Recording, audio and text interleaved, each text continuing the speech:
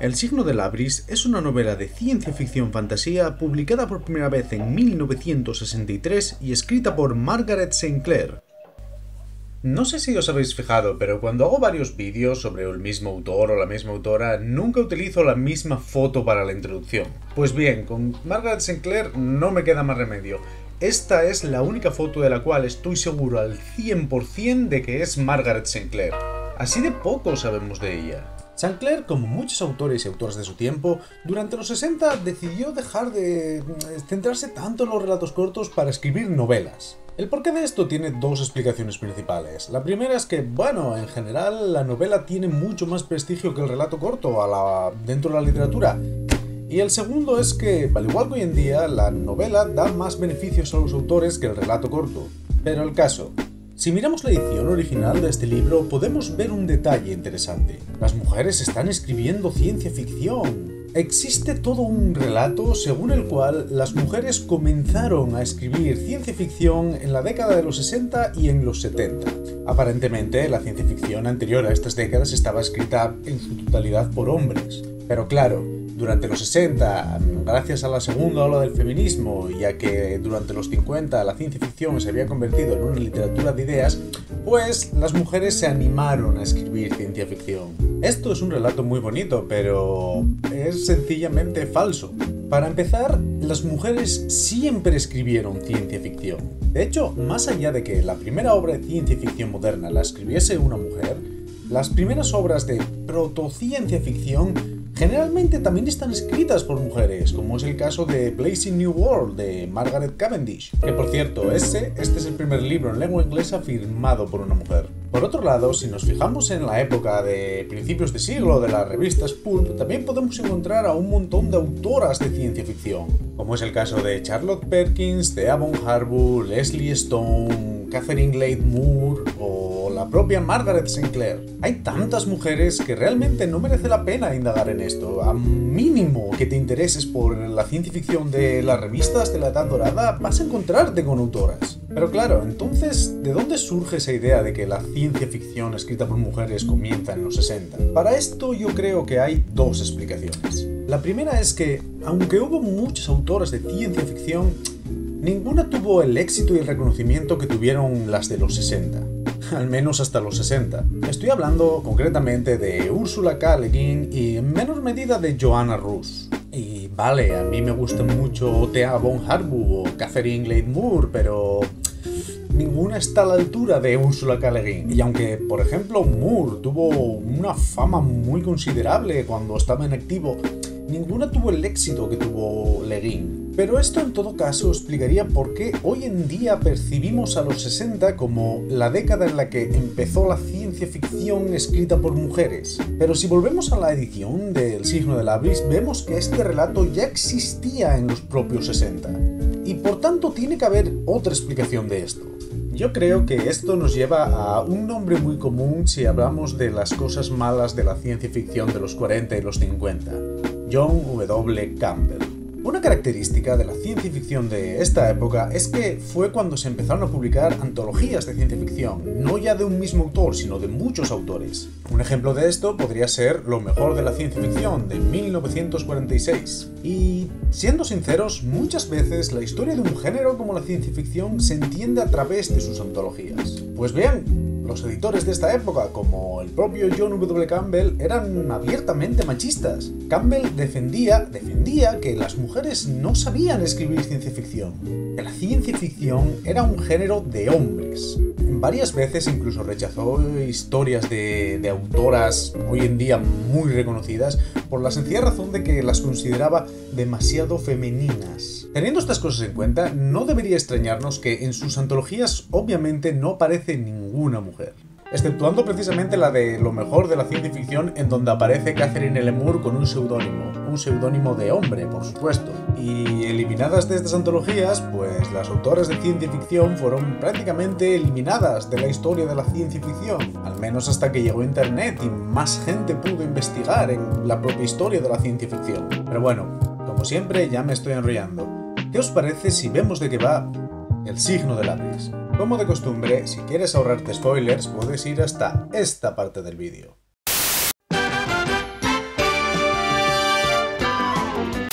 La historia se sitúa en un lugar no específico de Estados Unidos. Un par de décadas atrás, un virus acabó con la mayoría de la población mundial. Los supervivientes, al menos en Estados Unidos, decidieron esconderse en grandes refugios subterráneos para evitar el virus, aunque esto no funcionó del todo bien. Todo el mundo que queda intenta sobrevivir como puede y evita cualquier tipo de contacto prolongado con todo el resto del mundo. Lo más normal es hacer como Sam Sewell, el protagonista, y tener un trabajo que, bueno, que te mantenga un poco ocupado y que te despeje la mente, aunque en realidad ya no existe la sociedad, tan solo un grupo de personas que viven de los restos de la sociedad anterior. Un día, Sam recibe la visita de un agente del FBI, que es una de las pocas organizaciones del gobierno anterior que sigue funcionando. El agente quiere saber si Sewell sabe algo sobre una bruja llamada Despoina. Se cree que Despoina puede curar la enfermedad que asoló a la humanidad. Sam no tiene ni idea de quién es esa mujer, pero al poco tiempo recibe un mensaje de la misteriosa Despoina. El mensaje le pide que vaya hasta lo más profundo del refugio y le entrega un anillo que le ayudará a llegar ahí. El viaje de Sam hacia lo más profundo del refugio Sirve también como un viaje de autodescubrimiento para el protagonista, pero además deja ver un poco el estilo de Sinclair. Cada nivel que recorre el protagonista funciona casi como un relato medio independiente,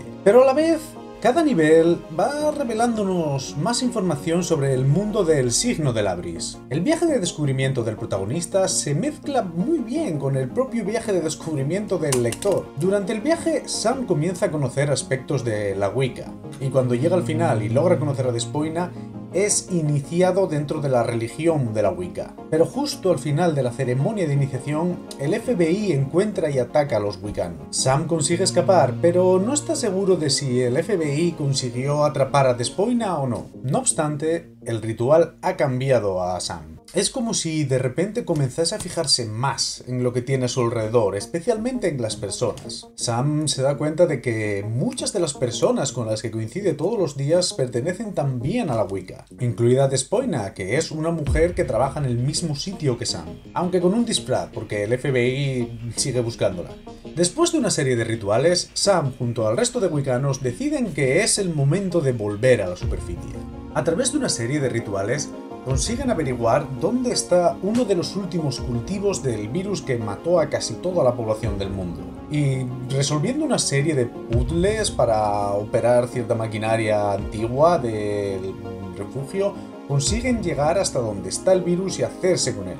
Pero en el último minuto el FBI los encuentra no obstante, Sam utiliza sus poderes de la Wicca para controlar la mente del líder del FBI y hacer que les dejen llegar hasta la superficie. El final es un poco anticlimático, si os digo la verdad. Pero bueno, la novela termina con Sam y Despoina felices por iniciar su nueva vida en la superficie. El signo de la brisa es ante todo una novela muy personal. A mediados de los 50, Margaret Sinclair se convirtió en una de las primeras personas en practicar la religión wicana. La religión wicana, o simplemente Wicca, es una especie de reinterpretación moderna de varias religiones paganas que surgen en el Reino Unido a mediados de los 50. Con reinterpretación moderna me refiero que es una mezcla de varias religiones precristianas, principalmente religiones precristianas del Reino Unido, aunque también tiene elementos de otras, de, otras partes de Europa. Y bueno, hay que reconocer que gracias a los elementos de la Wicca que hay en el signo de Labris,